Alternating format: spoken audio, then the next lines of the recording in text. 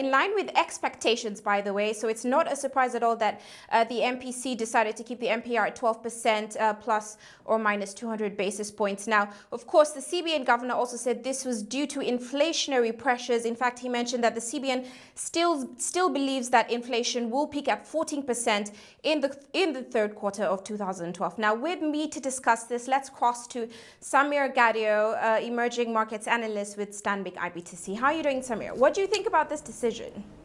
Well, I think it's in line with uh, the consensus view. You know, most of the economists and the market as a whole actually believe that the, the policy rate will be would be uh, left unchanged. And uh, I think the main reason is that inflation is still going up. Um, not so much because you have uh, monthly infl inflationary pressures, but it's more because of the uh, shift to a higher base in January, which is causing a transitory shock. So we're probably going to have um, an increase in inflation to 14.5% in July, August, and then it will start declining. So in this context, I mean, it made it a little bit difficult for the central bank to start cutting rates now because the real rates of return, so the inflation-adjusted rates of return, will decline in coming months.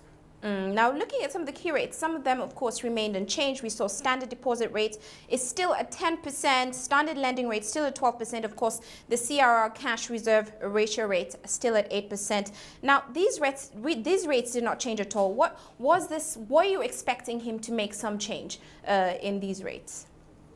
Well, you know, you, you, have to take into account that the, the way the central bank operates is basically um, in cycles, if I can uh, use this term.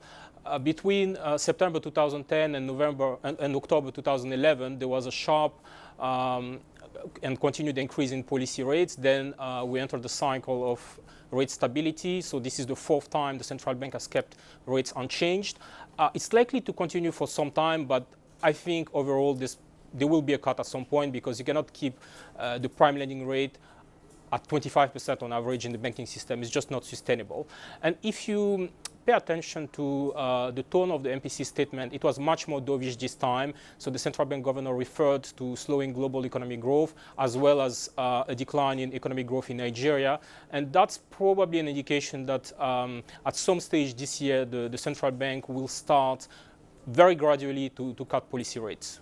Mm, now, Samir, of course, not this was not a this decision was not a surprise at all. What are some of the key points that came out of this uh, MPC uh, decision for you? Um, I think the, the key point was that uh, monetary policy has limits.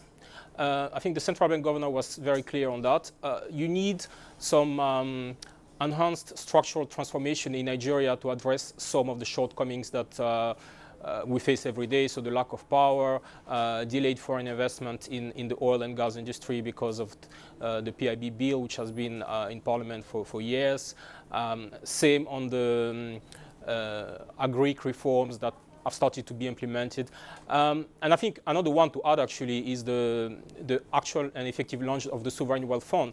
Because yes, foreign reserves are rising, but uh, if there is no codified framework to actually save the oil proceeds, mm. then uh, you will end up in a situation where the oil price falls and Nigeria has no uh, tangible fiscal savings. Well, That's Samir, a very dangerous situation. Samir, I, I, actually want to talk about the real GDP numbers. Uh, we hear in Q1 2012 they're predicted to drop to 6.5%. Now, this is what CBN governor, the CBN governor said from 7.45% in 2011. Do you think that warrants a, a reduction of the monetary policy rate?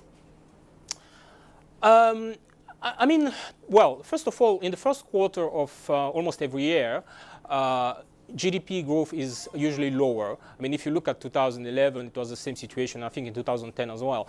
So it's, it's a cyclical effect, but that said, 6.1% is below the average recorded um, in, in Q1 in recent years. And I think the, the second caveat here is that uh, apparently the, the, the, decline is because of uh, a drop in agric outputs. So it's mostly exogenous because you know you have to take into account that uh, apparently the harvest wasn't as good as expected and so on. Uh, but but yet, I, I, mean overall, I think that uh, a cut in the policy rate would probably, uh, to some extent, boost uh, economic activity. So maybe not so much across all the sectors of um, gross domestic product, but at least in terms of uh, private sector lending. Because again, you know, if you have uh, your prime lending rate at 25, 24%, I mean, how do you expect um, the non-tier one segment of the, of the market to access credit? It's become virtually impossible. But Samir, I'm curious. I mean, what tone did you think? Uh, what tone do you think came out sort of out of this announcement? What do you think the tone was coming out of this announcement? Uh, are they biased towards uh, increasing or decreasing of the MPR, or do you think they're going to keep keep keeping it stable, sort of?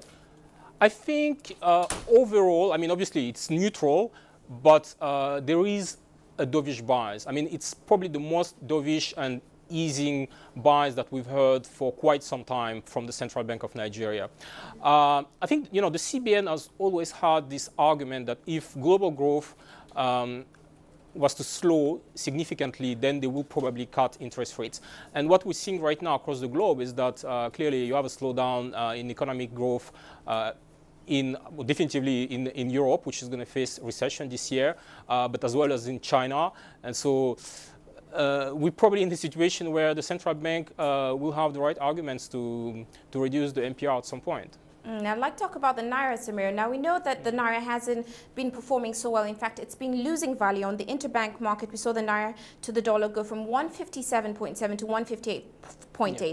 Now, how do you think this decision is going to affect uh, any change in the, in the currency?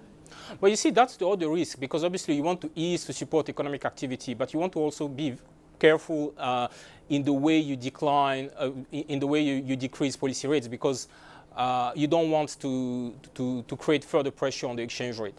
Now, what we saw last week was that uh, there was um, a sell-off in uh, treasury bills because foreigners, or at least some foreign accounts, um, took profit and to some extent, you know, this was uh, a mini flight to safety because of what's happening in the Eurozone.